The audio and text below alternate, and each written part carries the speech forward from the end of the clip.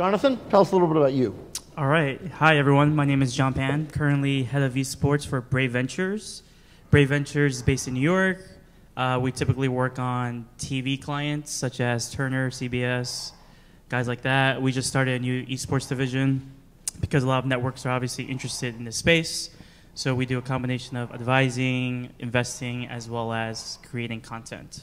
Uh, prior to Brave, I owned an esports team, and prior to that, I was a product manager at Riot Games. Hey guys, my name is Todd Harris, uh, co-founder, chief operating officer of a studio called Hi-Rez Studios. We make uh, primarily PC and console games that are free to play. Our biggest game is Smite. It's a mythology-themed third-person MOBA, and uh, I can give you the perspective of a developer, publisher, and how we look at esports. So Smite last year was the fourth biggest game as far as prizing paid out. So it went Dota 2, League of Legends, Counter Strike Go, Smite. We're not nearly as large as those other games, so obviously we're going hard after uh, kind of esports, and I can give you a perspective on why that works for us. Hi, everyone. My name is Ari Evans. I'm the co founder and CEO of a company called Maestro. We focus on game publishers, teams, and leagues, trying to help them develop their esports broadcast strategy, ways that they can better understand their audience behavior through a really robust analytics interface and also better monetization tools, which is the big nut everyone's trying to crack right now. I'm uh, Matt Marcou. I'm the, this is a little bit of mouthful, the Madden Competitive Gaming Commissioner at EA Sports. Um, so I work on Peter Moore's uh, new division, the competitive gaming division at EA. Uh, my primary focus is Madden, but I'm helping uh, influence all the sports games there. Um, I come to you kind of from the perspective of someone who's uh, been an OG in esports for a long time. I played in my first tournament uh, 23 years ago. I was started running tournaments 15 years ago. So I've really kind of seen esports level up from the grassroots community side uh, all the way up to the publisher developer side. Um, before coming to EA, I worked on uh, League of Legends. I started up the esports program for Riot Games, uh, designed the uh, League of Legends Championship Series, as well as their grassroots community program and you have the coolest title of, of, yeah. of, of anybody at EA. The, the non-mouthful is they call me the commish, so you can just call me the commish, and we'll be good with that. And Citron's cool with the idea that that's above EVP. That's like a step towards God, Commissioner, right? Uh, no, no, comment, I guess. Great. Uh, I'm sure there are going to be a lot of questions for, for EA, particularly since you guys are taking a somewhat different approach than, than most people in most cases. And we'll talk maybe about Battlefield versus uh, um, Madden and, uh, and FIFA. Um, okay, let's start in light of the self-identification within the audience, just a tiny bit of history. Not all of you have to do this, but, but I know Jonathan knows a lot of the history. We'll let him go first and kind of the history of esports, you know, the emergence of it uh, out of the East. Just put it a little bit in context is this a, you know, I think some people think this is something that just started three years ago, which is, of course, not the case. So give us a little context on, uh, you know, kind of Wikipedia history of esports. Okay, well, um, And maybe start with a definition. Well, I mean, that's, that's the hardest question, right? How do you even define esports? So maybe I'll, I'll pass on that first. because, you know, is chess esports? Is, you know, sports-based games esports or only fantasy-based? But anyways, let me, let me pass on that. Uh, in terms of like a brief history, I'm sure there's lots of different like themes out there, but the one that I've heard that's very general is that you know competitive video gaming has been happening for for many years, decades, uh, primarily emanating from from from East Asia, and in the last couple of years, it's gone mainstream attention due to the confluence of a few factors. One, Twitch becoming really huge, and two, League of Legends becoming really big, especially in South Korea where they actually, you know, they have esports players pump up Olympic uh, soccer players before their match. So, you know, with those two kind of major trends happening, esports got into the major, uh, you know, kind of the general population's attention. And, and, now, you know, a lot of people are trying to get involved. You know, uh, traditional media players like networks, all the game publishers, and people like that, I guess, VCs. Okay. One of you want to give us a sense of what were the earliest games in esports as we talk about the history of esports for a few minutes? Yeah, I'll, I'll go into it because I, I, think I played in some of them. Um, I mean, again, when I say I played in tournaments 23 years ago, I'm, I'm not, I'm not joking. I'm, i may look really young. Uh, I'm, I'm 33, and when I was in uh, grade school, um, uh, fortunately, my mother was open minded. She took me to video game competitions, console tournaments, like she took me to my soccer and baseball practice. So uh, I played in the Blockbuster World Video Game Championship. It's kind of like a high score competition. I played in a Power Fest back in the day. Again, high score competitions. You're playing Mario, Mario Kart, etc. But I think the first games that rang true as to uh, a video game resembling a sport were, you know, the Dooms and Quakes and Counter Strikes coming in the the early 2000s. So that's you know, there's a lot of ways to, to draw the line of what's competitive, what's a sport, et cetera. But that for me was uh, what really engaged me and kind of set me off on my way.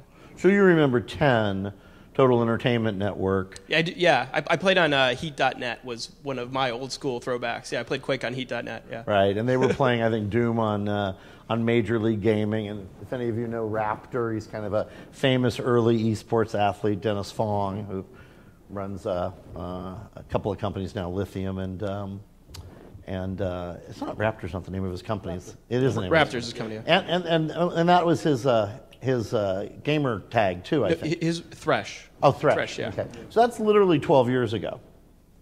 Now, how much earlier did it start in Asia? Was it Korea first? Was it China first? Was it Japan? I would say StarCraft was the breakout moment in uh, Korea specifically. And when did League uh, when did when did League first start? And was it an esport right away? Uh, well, he, he's saying yes. I'm saying I'm saying no. I mean, Le- League of Legends launched in 2009. I think League of Legends benefited off of the emergence of the MOBA genre. Uh, Dota, which came before it, really started that com- competition. So when you got into League of Legends, if you were a hardcore Dota player, you, you understood what to do right away. But um, I, I don't think League of Legends competitively got completely serious until about 2011 is when I'm gonna pin it down. Yeah, I'll just maybe level set because there were a lot of new people yeah. in the room, right? So I think um, we hit on it, but esports, in my mind, just simplistically, is video games being played competitively at such a high level that they're interesting enough for other people to watch. So the fact that there's a spectating aspect to it, in addition to uh, a competition playing aspect, enables other uh, you know, forms of engagement, forms of monetization, et cetera. So I think that's the neighborhood of things that we're talking about, and it does have a long history.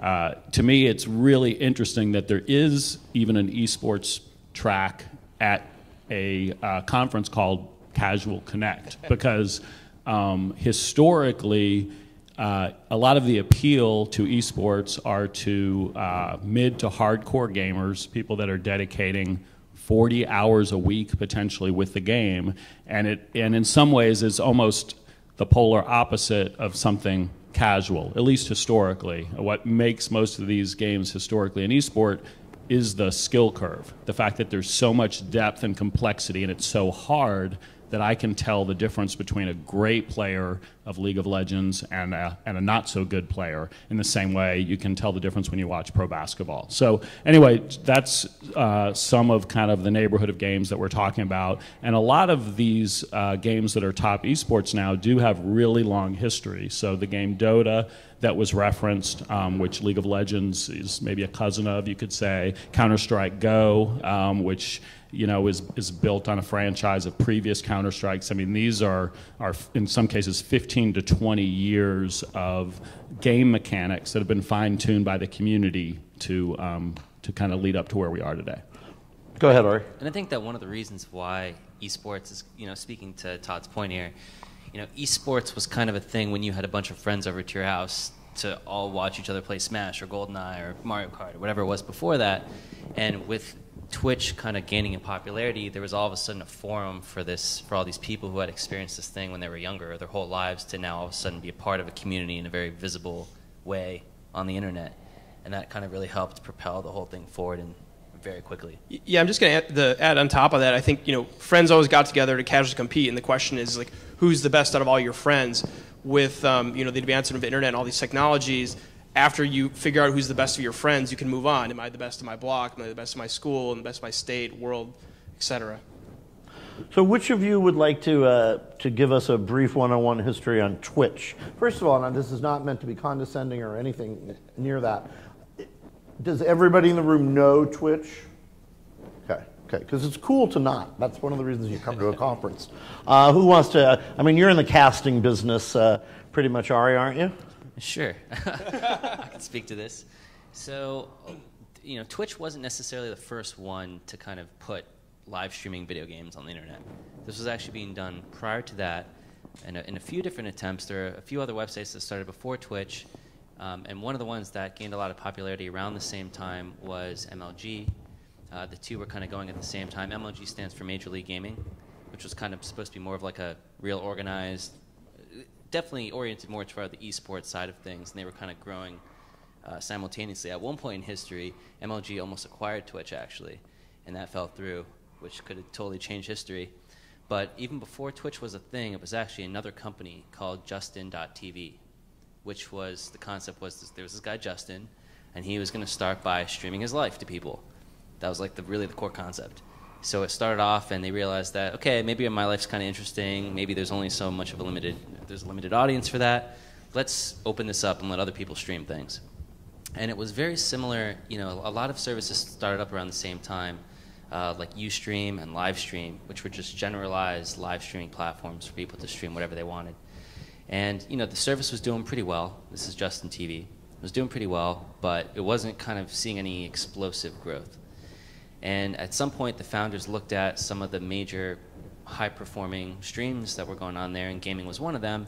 And some of the co-founders, uh, specifically Emmett, but also you know Justin and some of the other guys, decided that they were going to roll the dice and focus in on just gaming and really verticalize around it. And that's what led to the birth of Twitch.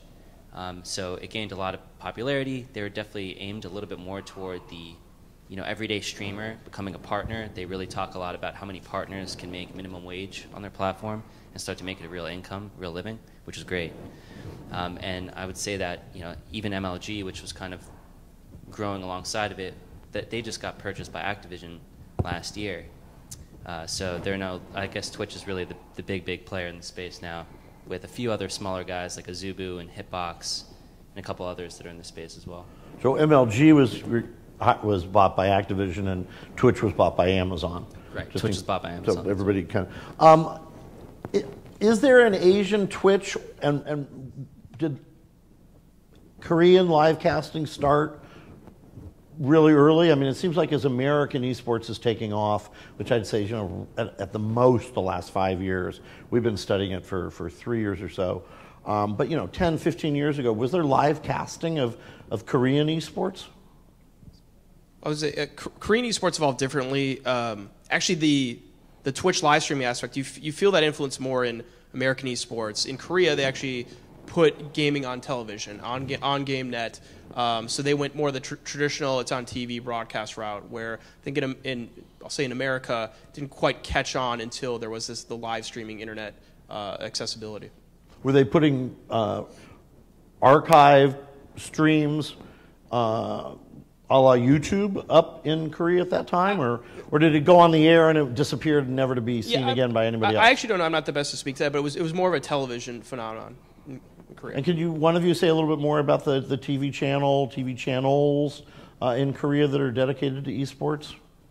Todd, you were shaking well, I. I know historically. Um, so first of all, the gaming culture in Korea, it's a very South Korea, very uh, connected culture. They had broadband very early. It's a very social experience. So a lot of gaming is played in these PC bangs, which basically is a place like a LAN cafe where you go, you socialize with your friends, you might drink or smoke, and you play, and it's social. And that's uh, it shifted a little bit away from that. Um, but that certainly in the time frame we're talking about was where these games were played so you're playing online against others and you're also physically connected with your friends so it's very social very competitive and um, at least at that time there were i think three different TV networks, the equivalent of ESPN for video games. So they were covering on what we would think of as traditional TV um, both live events and other video game content. So that was, again, you know, maybe 10 ish years ago. Um, so that's definitely the birthplace of, I would say, you know, that hardcore competitive gaming and also this idea of gaming as spectating.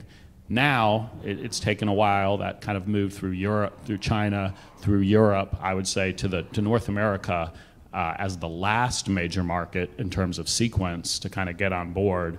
And uh, you know, yesterday ESPN uh, ESPN2 and ESPN University did I think it was about 15 hours of programming um, covering Evo, a fighting game tournament. Uh, also, I believe uh, Madden um, was in there as well. So they had a rotation of multiple games um, that they that they put on uh, TV. So it's definitely taken a while, and Twitch is a big part of what uh, made it here because it it kind of democratized the whole thing. You could do production very inexpensively through uh, Twitch, and then they also built a very large audience of you know, over 100 million a month. Certainly, I don't know what their last public numbers were, but that or north of that. Uh, so that's a big viewership.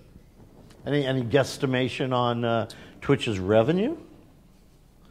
More than 100 a year or less than 100 million a year? I know you guys all have opinions, so, because I've talked to some of you about it.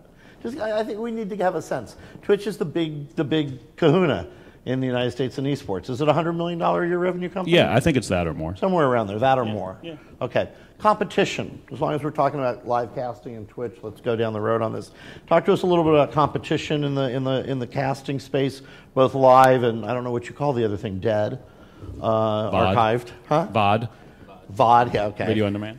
Um, well, as was mentioned, um, there were a number of, of entries uh, kind of focused on gaming. We heard the history of Twitch, and there are others like uh, Azubu and, and MLG that was recently acquired. I would say the two biggest competitors, viewership wise, uh, to Twitch right now are um, YouTube Gaming, which introduced a live uh, component recently, and uh, obviously they have a lot of gamers on the platform watching their their VOD content, their video on demand content.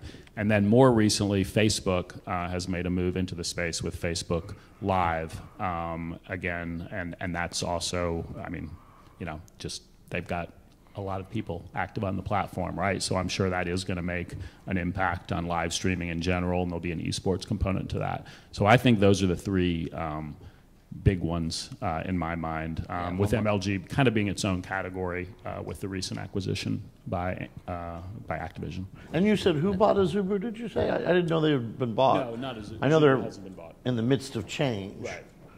Ari? Well, I was just going to add that Twitter is uh, picking up a lot of live streaming these days. They're actually streaming the Republican and Democratic national conventions. They did Wimbledon last weekend or two weekends ago.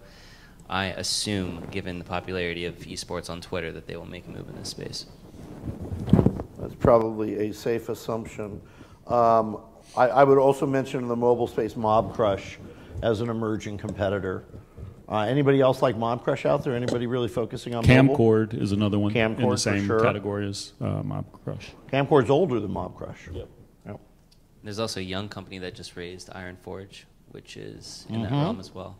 Okay, let's talk a little bit about publishers then. Uh, and this will definitely give Commish a chance to talk to us about, uh, about the, uh, the new definition of esports that they're taking on. Uh, but reading from one of our panelists here, uh, let's talk about what the game publishers' roles are, because it varies, right, from publisher to publisher and even game to game. Uh, what are their roles in establishing leagues, esports infrastructures? Um, and, uh, and what are the pros and cons of how that's currently uh, being handled? Um, you're quite a bit different, uh, Matt, in terms of EA, right, versus uh, the bulk of the, of the games are hyper competitive, professional players of this. And for Madden and, and, and FIFA, you're going in a different direction as a publisher, right? Well, it, there's still the the high level competitive play, but uh, you know one thing you know at EA we named the division the competitive gaming division. We made that conscious choice versus esports because to us competitive gaming, you know, like like I, gave the couch play analogy, um, you can you can be competitive while being professional. And in, inherently, if you're playing a multiplayer game, whether you're you're against people on a team you're, you're, you're, you're being competitive, right? You're shooting for that high score. You're trying to win. You're pull, pulling out the W. So, you know, our focus is for, for to, to, make sense to us, you know, we have to service our entire player base. It has to be fun to compete. You know, we have to, um, we, well, our goal is to make you feel like, make all our ga- gamers feel like stars. So, you know, whether you're just getting out and you're learning the game, or you want to play against friends competitively, or you're, you're a Twitch streamer, or you are hitting that upper level of play, like Eric Problem Wright, where you could be a Madden champion, we want that whole experience to feel, feel good for you. Um, and there's, there's, a, there's a lot goes into it, but I, I think the, one of my core tenets um, as a commissioner is uh, you know, I need to ensure that the gameplay is fair, that our, our game modes are fun to play, uh, and then they also tr- that that funness to play also translates on a live stream for someone who's not actively playing. You will not personally be conducting the drug test, though, correct? No, I will not be personally doing it. And, and expand just a little bit, and then I want to get the three of you to talk about, uh, you know, Blizzard and, and Riot and whatnot. Just explain for everybody a little bit more about the the thing that you're doing differently. I don't, you know, I've spent time with Peter and Todd, and I don't even fully understand it yet. You know, what is the nature of this competitive Madden gaming? Um, with people that are not going to be on the big screen, they're not going to win big tournaments. The the competitive, but not the professional. What is, what is it you guys are doing as a publisher for those people? Yeah, so I think when you, when you see the headlines these days, just level set, you know, in Forbes or, or whatever you're looking, you see the, the the picture of the stadium shot, you see the video of the winner holding up the champion, right? And that's that's the tip of the iceberg. That's not where e- esports or competitive gaming starts. It's it starts much in the same way that recreational sports does. It's it's a pastime. It's an activity. So let's let's use football. It's you know if you want to engage in football, you can you know throw the football around. You can play flag football that that love of football understanding you know comes in the, the, the backyards and sandlots and schools of America and that's that's where esports grew from as well right? It came it comes from the LAN party. It comes from that couch play. Me challenging my friend to a game of Madden right? Because uh, you know he's I'm a Packers fan and he's a Bears fan and we need we need to settle all this now right? That's where it all starts. And we we here at EA are trying to focus on that entire experience. And um, you know a majority if, if, if, if you're a gamer you're spending your time in the client in the game itself. So it's about you know the experience where you spend you know 90% of your your waking hours as a fan of that game. Okay.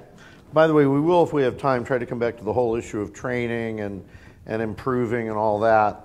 Um, talk to us a little bit, Jonathan. We can start with you uh, in terms of uh, pick your, your your next favorite publisher and tell us a little bit how they're coming at esports. Well, I think it's probably easier to just talk about the two general systems I see. Sure. I see uh, kind of like a closed ecosystem versus an open one. And since I'm more familiar with Riot, I'll say like you know Riot Games has a more I would say like closed ecosystem where they own the league, they kind of they make the rules, they enforce the rules. Uh, there are only a few tournaments that you know you could even run for League of Legends that are not run by Riot Games directly. Um, whereas the others, the other spectrum, uh, the company I, I would say is probably Valve, who have been more hands off. And, and for them, it's a matter of you know kind of seeing how things go, experimentations, letting third party ecosystem develop. Uh, and I guess you know one downside that has that I've recently seen over the last week was kind of like the skin gambling kind of issue that has emerged in, in Counter Strike. And Valve last week decided to start issuing cease and desist letters around that ecosystem, which kind of grew up, uh, grew around Counter Strike. I- I'm sure that some of you would like to know a little bit more about what skin gambling is, right? You're not all skin gambling experts. You're a skin gambling expert, up or down. Fill in people into this um, non-gambling gambling. Sure. So, like the high level of skin gambling is in in the game we're talking about, Counter Strike. You could purchase skins for for your weapons. There's they're randomly generated by the game. They're you know there are ways to determine quality of it. Is you know is it a good skin? Is it a bad skin? There's a, like a company dedicated to like pricing these things, and there's a pricing API. There's a marketplace to uh, to buy and sell skins. And finally, the third component, which is there, there are areas, there are sites where you could gamble with these skins because they, they're worth money. Um, you could gamble in a variety of fashions. You could gamble kind of on, uh, on matches. You gamble on, you know, like through, through like raffle sites. You throw in 20 skins and the winner gets 19. Uh, the site keeps one, things of that nature. And how much money do you think uh, is going through this system? Is it tens of millions of dollars, hundreds of millions? So, the Bloomberg Bloomberg article says 7.4 billion, but I think that's That's got to be worldwide. or e- even if it's worldwide, that seems like it's it's it's high, extremely high. Um, I I don't know what the exact number is. I just think 7.4 billion is kind of high. It's maybe maybe in the billions, probably in the hundreds of millions, just because I think when they took a look at the top 300 uh, inventories for CS:GO, it was something in the range of hundreds of millions, perhaps. Yeah. So, based on that, maybe like a billion might be relevant in terms of like trading volume. Okay. You want to talk a little bit about publishers? Uh, do you want to say something about skin gambling also? Uh, or you want to go hit back to publishers? I'll hit both. I, I mean, so one thing to know is, I mean, esports is definitely somewhat of the wild west right now, and the pub, the different publisher models is just an example of that. So you do have uh, from from completely controlled from the publisher, and they're kind of judge and jury, to completely wild open API, um, and a lot of publishers fall in between.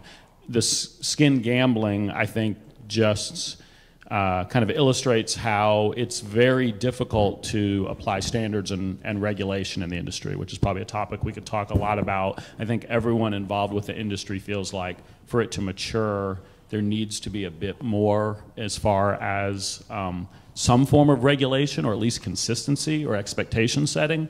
Um, but it's not clear right now where that answer is going to come from because the entities involved all have different motivations. So the skin gambling, I'll, the only point that I'll mention, in addition to just the fact that this gambling exists and that it's not regulated, which means that there's really no age gating, for example, um, there also in the past two weeks have been numerous allegations, allegation is kind, I would say, pretty clear evidence that uh, YouTubers, influencers were directly involved with some of these sites. So cases where I'm a YouTuber, I've got a big following, I am expressing surprise in my video where I suddenly get lucky and win a great amount of skins and I never basically divulged that I have a very uh, deep relationship, including in some cases ownership of the gambling site. So all that kind of blew up in the past um, two weeks, which is part of why this publisher, Valve, is now getting more active, right? So, um, you know, I think the topic of skin gambling and gambling, gambling in general, is a is a hot one that we could debate. Um, but right now, in its unregulated form, it's uh, it's pretty nasty. Okay, I'm going to come back and ask you about Valve in a second. Ari, you can say whatever you want, but I'd also like you to talk a little bit about Blizzard in terms of what, what they're, I know you're close to Blizzard, what approach they've been taking, closed, opened, if you, you buy into Jonathan's paradigm. Sure. So the first thing to tell people in the room, I, I thought this was really useful for me to hear a while ago. You know, why is it that the game publishers get to decide these things, right? If you look at a comparison to the sports industry, no one really owns the sport of soccer or football or basketball. But in gaming, someone does very much own the sport of League of Legends. Someone definitely owns the sport of Overwatch or any other title. And that totally changes the game, right? That's why there's so much difference in what people are choosing to do, because they do have that control and ability to do so. And how they choose, what rules they decide to put in place and the regulations are up to them. And I think we're going to see a lot of uh, pros and cons to it being that way, right? And what's going to come out of it. Blizzard in particular, so everyone, I'm not, not even sure, but there's a new title called Overwatch. Has anyone in the room heard of it? Cool. I'm curious how many have downloaded it. So people are playing Overwatch. It's pretty sweet. Um, so this is it, it's their newest esport, and it's one of their main titles that was meant to be an esport when they started to develop it. At least that's what they say. Um, so for some of their other games, there's been more of the open model, where a lot of different uh, a lot of different tournament organizers can use their IP and create their own events that have their own prize pools and their own rules and so on. And I think that's partially because they realized even Dota itself was a mod, like a community-made mod. It's based on a mod that was created by the community of an earlier, some of their earlier games, like the Warcraft series and StarCraft. So that's pretty interesting in itself. So for Blizzard in particular, with this new game, they haven't uh, announced anything in particular, but I think they're looking at some of the more traditional sports league type models where teams have ownership over part of it and there's more regulation around what they each have to do and players associations and things like that. I'm just curious in the audience, uh, and I'm assuming all of you have heard kind of what they are starting to do with Overwatch. I mean, you just very lightly said what they're doing, but the fact of the matter is they're doing exactly what you just said. Uh, they're building a league, they're selling teams. I'm just curious, you know, they, they're just starting that. Had some of you heard about that? Had you heard about how Blizzard was taking on with Overwatch? Okay. Um, do you think that's good that they're doing that with Overwatch, or would you prefer they were back in the more open of the previous games? Well, Overwatch is taking off like a rocket, and I think that, especially with all the eyes that are on it right now, it's important that they take caution in what they roll out. So I think having a more controlled approach at this stage makes sense for the title.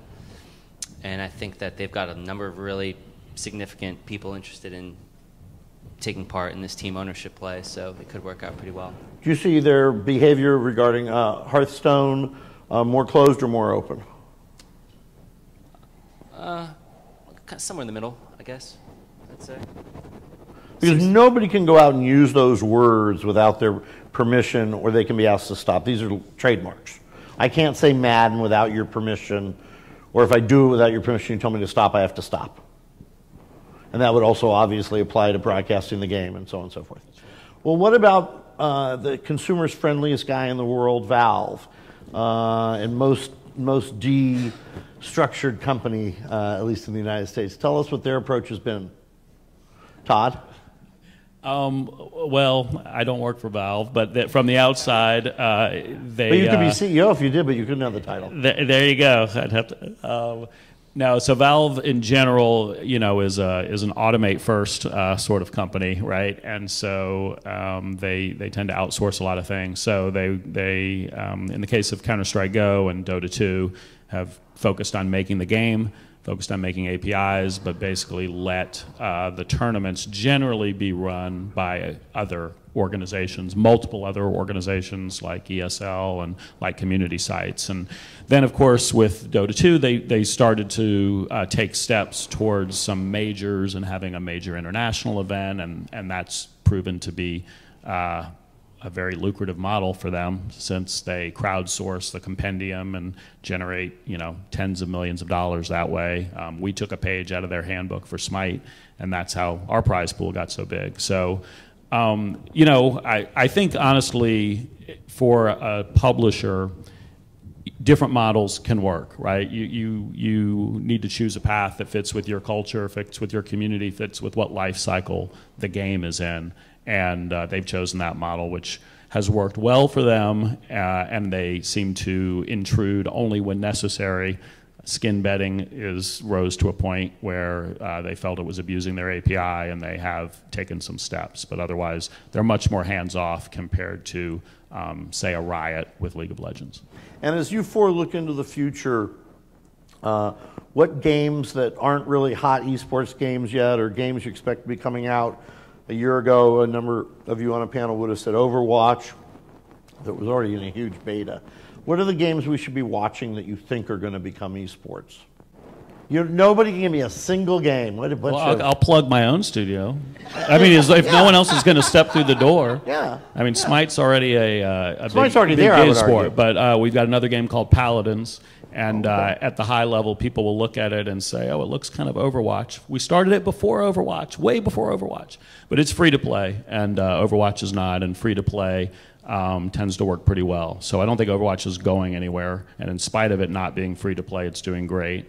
Um, but Paladins will be a contender. And I'll speak more generally that in the same way you saw there was a trend of MMOs, then there was a trend of MOBA games, meaning League of Legends, Dota 2. Here's. Um, of Newerth, even Smite, others.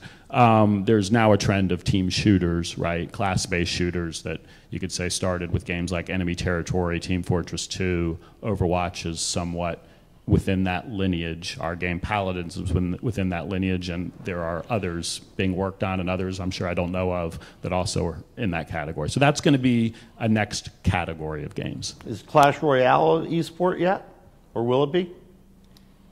Yeah, I, I was so. gonna say I'm a huge Clash Royale player. Um, I don't know if esport again. Um, I think g- going back to Todd's definition, uh, not only compelling to play, compelling to watch. Like, can you can you develop an audience around it? So I'm a huge Clash Royale player. I love the competition of it. Um, do I want to watch it? I don't know. I, I personally, you know, finding myself, I'm, I'm getting, you know, I started in the Counter Strike scene. I'm getting away more and more from those Twitch games uh, going more and more to, to mobile games. So for me, it's that that that mobile uh, component. How can I immerse myself in the competition? But again, not sure if it's an esport or even if if that's desirable. But what is important is the the competition, the engagement of it all.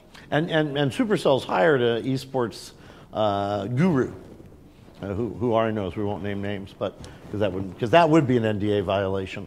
So there are clearly ones. And you said you said yes. You think Clash Royale's definitely uh, an esport. Right, for all the same reasons uh, he listed. But I also I think from a spectating perspective, it's quite interesting. But um, beyond Clash Royale, I think like just maybe a couple sleeper titles coming out uh, are like sports-based games. You know, like NBA 2K, FIFA, Madden. Just because I think everyone's been focused on the top of the pyramid. We assume the top of the pyramid is the like the best competitors.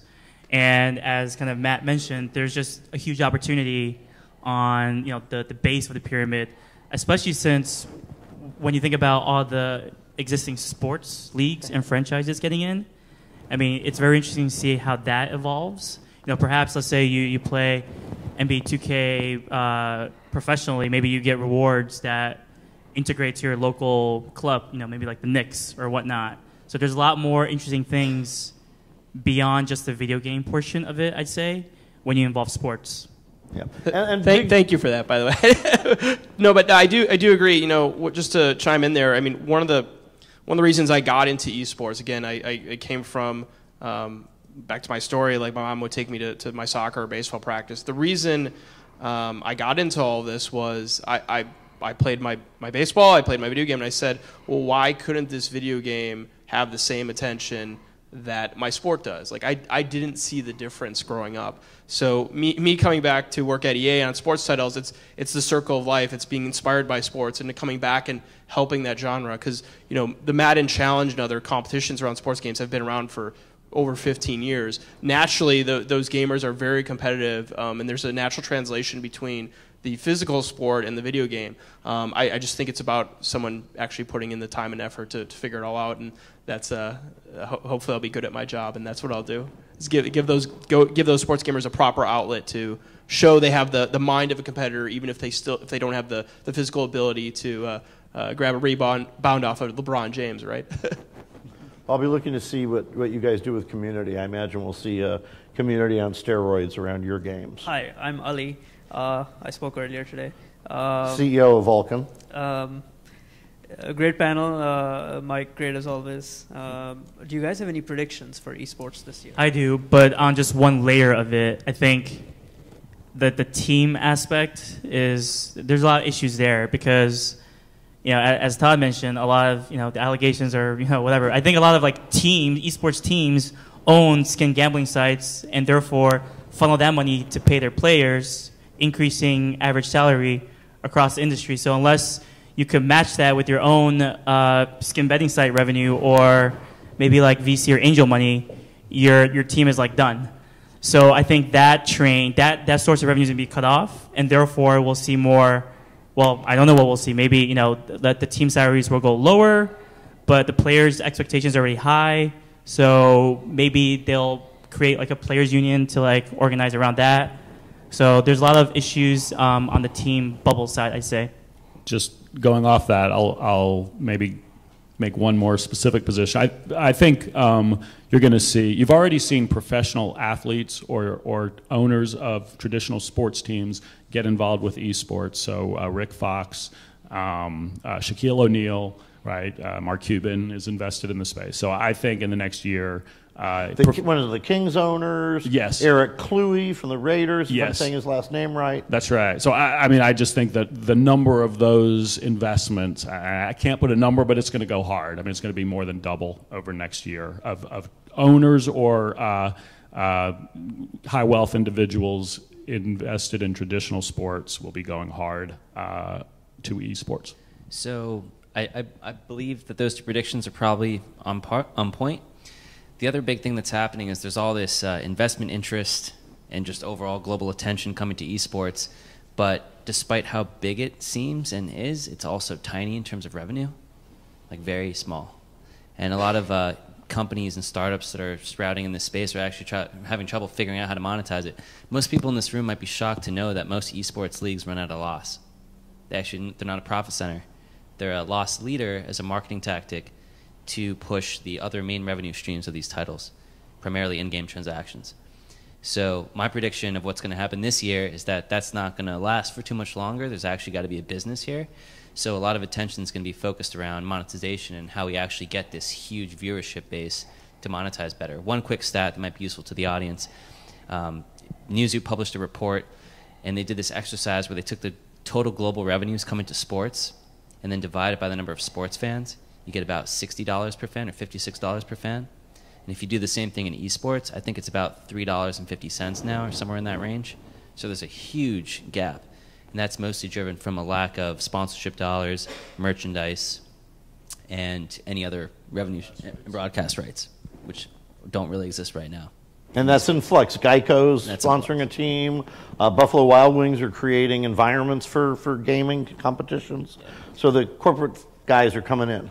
Yeah. And the other prediction I have is just you're going to see most titles create some kind of like well, well, most titles that could be esports are going to have some basic esports infrastructure or events started around them, even the smaller ones. Prediction, Matt? Um, just the increased professionalism, and again, to, on the note of corporations coming in, you know, both on the side of um, you know, teams have proper coaches, they, they have proper businessmen coming in, proper lawyers. So I mean, there's there's pros and cons to all of that. But um, as we said earlier, the esports has been a little bit of the wild west. Uh, it's been run run by communities and by by, by kids.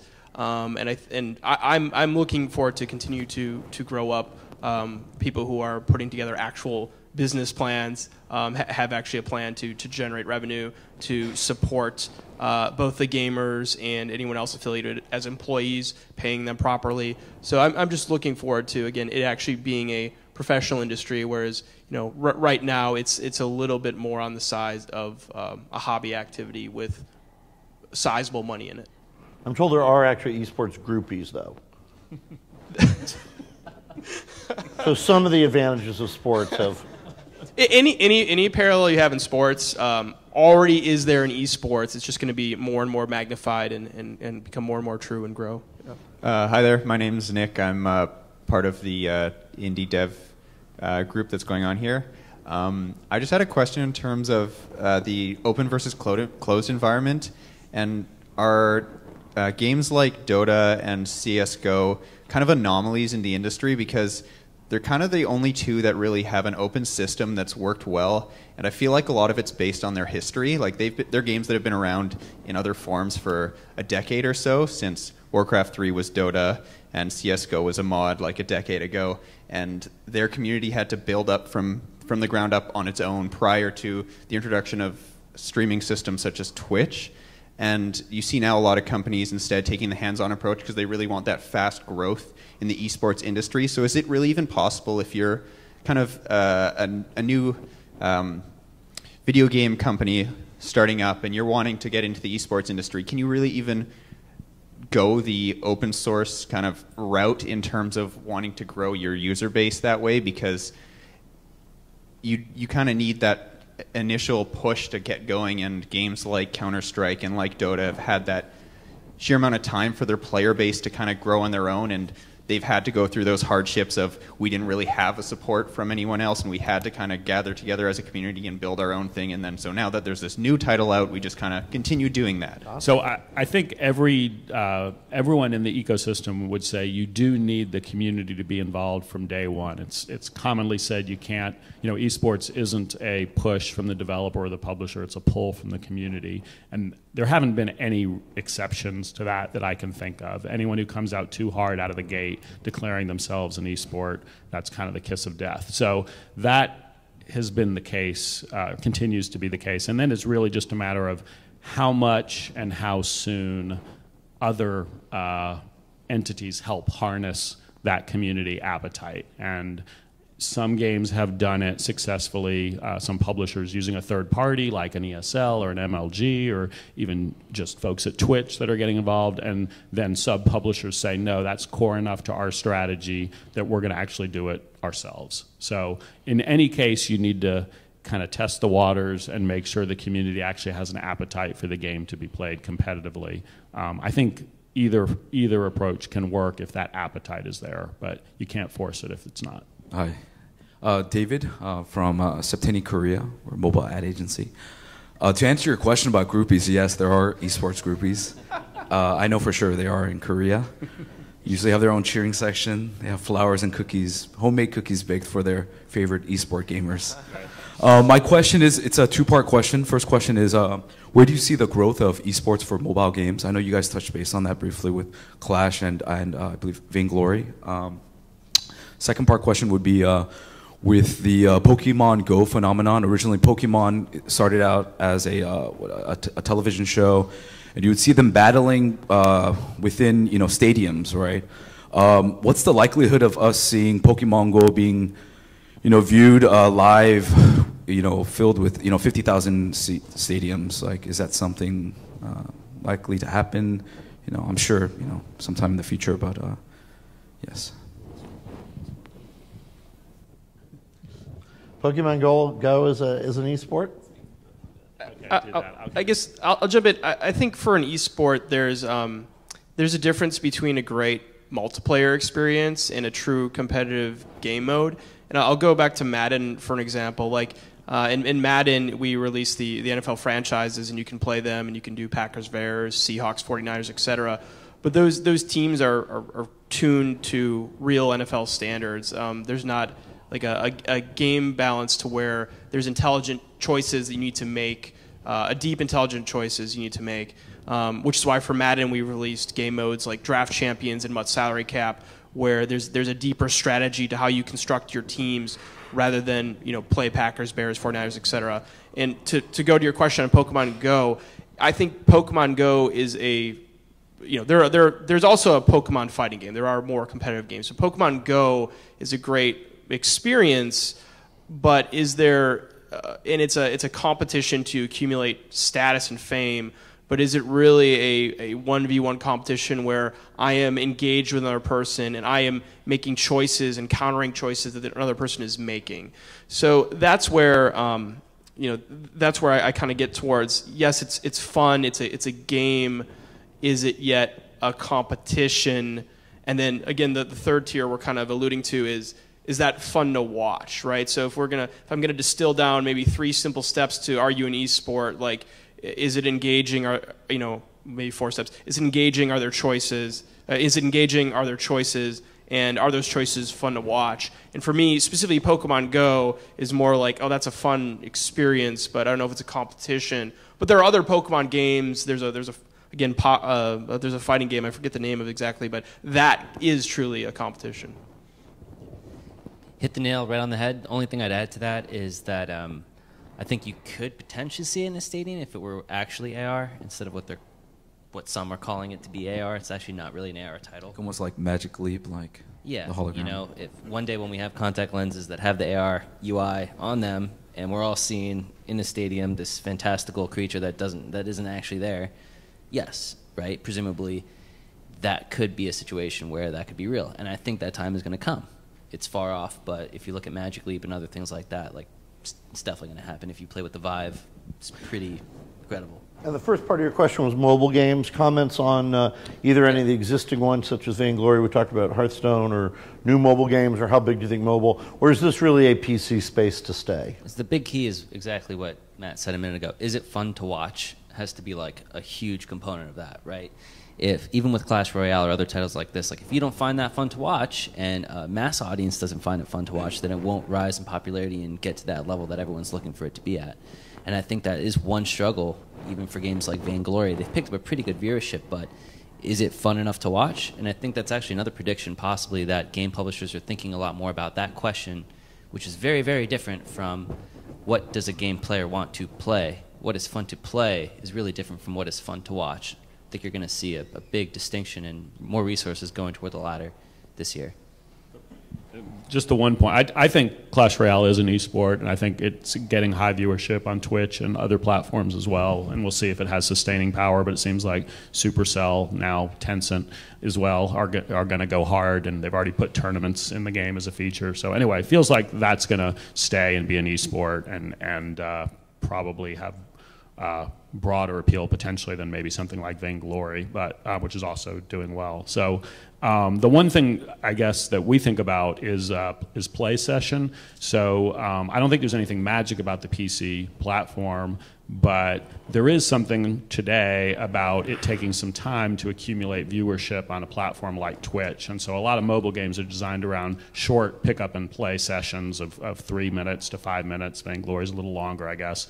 And um, you just need to then consider that in your, uh, in your content strategy for viewership because it's different from a League of Legends game or Smite game that you know might be 45 minutes. So you just have to um, somehow have a game that marries short pick up and play sessions that work for a mobile gamer audience, but also a tournament format that's interesting for people to watch when it might take uh, you know 10 minutes just to have people know that your stream is on and then another half an hour to kind of get into it you want a couple hours of programming there to really get maximum viewership so that's just something game developers um, will have to figure out And I think we're really at the forefront of what we call mobile esports, right? I mean, we briefly talked about like PC-based esports earlier.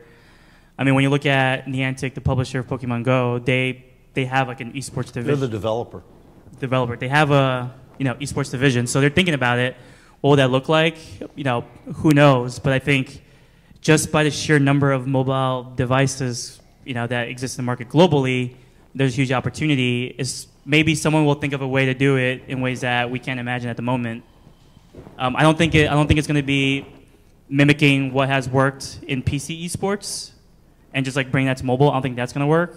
It's going to be something new. Just kind of like the whole Pokemon Go experience in itself was rather new, but seemingly kind of simple that delighted a lot of fans globally. You can look at 10 different teams in 10 different parts of the world all playing and competing against each other and their GoPro. Basically, it's an exciting topic. Um, but maybe two questions. Um, like Valve released a statement, but maybe for the question to be valid for everyone else, um, they said you cannot use the API to have automatically send trade offers. Um, what What are your thoughts on manually accepting trade offers? Which is they, they actually left a gap open. So how do you think the development will be on that in the future? And also for you guys, is there a difference between skin betting and skin gambling? Because they specifically said gambling, and there's a lot of talks about is betting any different or so maybe you guys have like 30 seconds. it's all going to come down to what Valve actually enforces. Their language can be interpreted in multiple ways, so it's just going to be like what, if any, actual cease and desist actions they they take. So they've kind of set some signals out there. I don't know that any of us can can read their minds on what they're going to do. So that uh, you know that's what will actually uh, demonstrate what changes will will take place or not. Can you imagine these 80 year old men and women on the Supreme Court having to decide a Supreme Court case on, on esports? That, that actually could be a comedy. Uh, okay, five, five or 10 year, I can only imagine, you know. Uh, five or 10 year predictions. And I've got one too, so we'll start with, uh, with Kamish down there. I mean, uh, I think I'm a little tapped out on my predictions. I mean, I mean, look, I, I got into this, you know, 20 years ago, predicting that, um, you know, a video game would start to resemble a sport, and I think we're we're just more more and more we encounter boxes and we're just ticking them off. Like, is it competitive? Can we watch it? Uh, can I, you know, can I make money off my franchise team? Can I gamble on it? Um, we're just we're running. Honestly, I think we're running out of those starter boxes to, to check, and it's it's just more about you know the last one is um, can this be a sustainable profession for for the usual set of players? So uh, you know it's a boring prediction, but I, I just think we're we're already there, and we're just going further down that route. Five or longer term prediction, Ari? We're seeing a trend right now where there's new game formats that are being developed based on technologies for the viewers to engage with the players in different ways. Haven't seen like a killer app version of that implemented quite yet, but I think that there could be. And if they figure it out and it's fun, it could lead to totally new class of games, which is pretty exciting. Um, and I also think that it's inevitable that we're going to get to this like quasi physical slash AR mixture new sports, you know, with different types of gravity that aren't really in the real world that could enable totally new kinds of esports that are kind of regular sports, but are, have some kind of, you know, e- electronic or virtual component. Looking forward to those. like Blitzball. Everyone, everyone know that. You know? Okay. Todd? Um, So today, the way teams are structured is is kind of virtualized, which which fits a virtual sport. But we see competition come alive when it's region versus region, like U.S. versus Europe. And I think that five years from now, the team structure is going to be uh, geo-located. So there will be the Atlanta team, there'll be the Sacramento team, um, and that way you can really develop this pyramid infrastructure from high school to college to local team, and that's going to disrupt everything. Uh, I think at the highest level, sports will become more like esports, and sp- esports will become more like sports. Kind of like what Todd is saying. From the esports side, you know, more local infrastructure. People realize the integration, you know, sports team owners and, and, and leagues. Uh, and from the sports side, we already know that NFL games being broadcasted on or streamed on Yahoo and now Twitter. So both sides are beginning to see the benefits of doing it, you know, their way, quote unquote. All right, mine is five years from now, there'll be more professional players in esports than in golf. And 10 years from now, there will be more revenue in esports than golf. Thank you for participating. Thank you for listening. Thank you all for participating. Actually, I was going to throw in my, my, my one on that topic is in five to 10 years, we will stop referring to uh, the collective power of esports and we will start saying, hey, this individual game versus the NHL versus golf, etc. Um, it's kind of a pet peeve of mine. It, you know, you can't, esports is not like the Olympics. You just don't lump it all together. It's, it's about the individual fan base, and those individual fan bases will be larger than some of the traditional fan bases we know. Great. Thank you all.